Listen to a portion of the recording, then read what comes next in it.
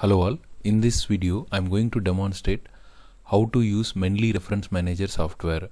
The reference managers not only helps us in altering or changing the positions of the references and renumbering it correctly, but also it helps us in creating the style, example Vancouver or Harvard, whatever the journal or university asks. So out of the reference manager softwares, the most commonly used softwares are Mendeley and Zotero and both are freely available and easy to use. In this video I am going to show how to use Mendeley Reference Manager. The first step in using Mendeley Reference Manager is we need to have two downloads done. Our first download is the Mendeley desktop and this Mendeley desktop will be specific for the OS which may be Windows, Mac OS or Linux. So depending upon the operating system which you are using, you can download the Mendeley desktop and you can install it.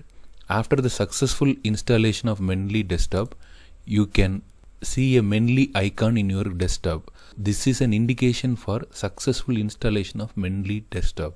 The second important download is the Mendeley web importer download which will be specific for the browser which you use. This Mendeley desktop is for the OS which you use and web importer is for the browser which you use. Here in this case it is Chrome. So web importer for Chrome is available. This is an extension. So after the successful installation of this extension, the icon Mendeley icon will appear here. Web importer is available for Safari, Internet Explorer and Mozilla. After the two downloads of Mendeley desktop and web importer, the third step is to sign in into the Mendeley desktop. So after successful signing in, creating an account, you will get a ID here. After creating that ID, you can create a separate folder demonstration. Okay, so the demonstration folder will appear here. Then the fourth important step is to go to the tools. Then we need to install MS Word plugin. Since I have already installed Mendeley plugin into MS Word, it is showing uninstall MS Word plugin. Otherwise, it will show install MS Word plugin. So after successful installation of MS Word plugin, the Mendeley icon will appear in the Word. So here, these are all the insert citation key, refresh key, insert bibliography key and open Mendeley key. Here we can keep the style I have kept Vancouver style as the style here which is uh, commonly used. We can change the reference style here. We can get more styles also. So we have crossed four steps. The first two steps are downloading Mendeley desktop and web importer. The third step is to sign in into Mendeley. The fourth step is to install MS Word plugin. So after ensuring this process, the fifth step is to open Mendeley and arrange the references. There are four ways where you can collect your reference. First is you can add manually. This is going to be the most time consuming process. We need to select the type of the reference, whether it is a journal article or a book or a uh, web page, etc. So here it I'm I'm typing the journal article. I'm just typing diabetes. I'm entering my name here. Journal. I'm just typing in short forms the year volume 3 issue 2 page number 5 to 8 if, if I feed all the data here and click on save after saving the manual entry the reference will appear like this.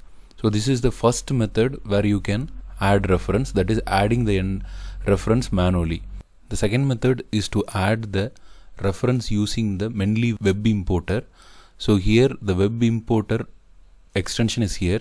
So by opening the web page, clicking on the Mendeley desktop, the web importer will get the data from the site and it will ask for whether you need uh, to add any PDF uh, or not. So suppose if you want to read this journal later then you can download this PDF and add into the Mendeley reference manager otherwise you need not add this so for just for the referencing purpose you can uh, tick on the uh, reference and add to the my library. Once it is added after this what you need to do is you need to go back and synchronize here.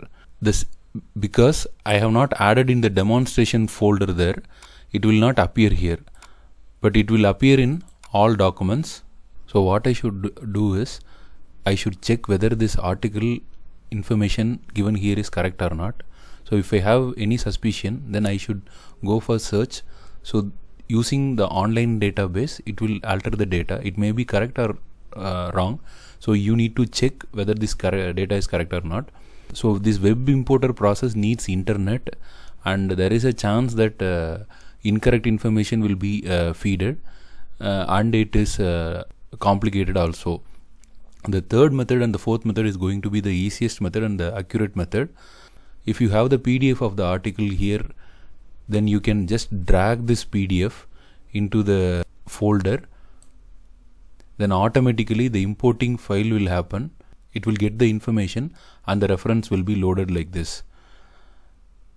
The fourth way where you can download the uh, article is through the website. You can download this reference file. So here if you download directly the file will appear. This file is called as RIS RIS file. So you can drag this file and keep it here. So automatically the data will be imported. So this fourth method is going to be the easiest method and the most accurate method also.